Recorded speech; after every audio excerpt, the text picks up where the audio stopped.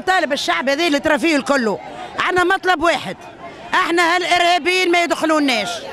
وهاللي في آه، ال- ال- البلدان مهما كانت الصفه نتاعو حتى كان يبدأ ولدي ما يدخلش. البارح تفرجنا في التلفزة في السيد وزير الداخلية وزير الخارجية.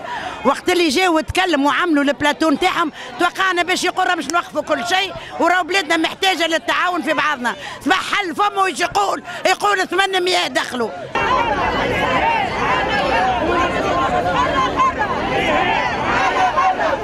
تونس حرة حرة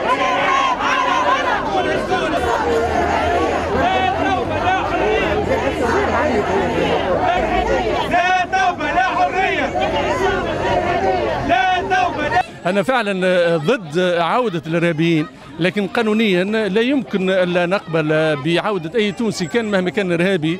أنا طالب أنه لأنه الدستور الفصل 25 من الدستور التونسي يمنع عدم قبول أي شخص كان.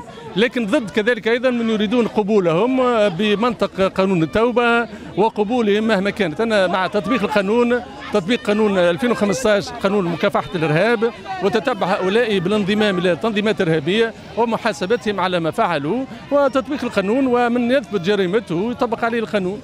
التوبة عندما يعاقب ويحاسب يمكن أن ذاك أن يتراجع وحاجة طيبة في الحالة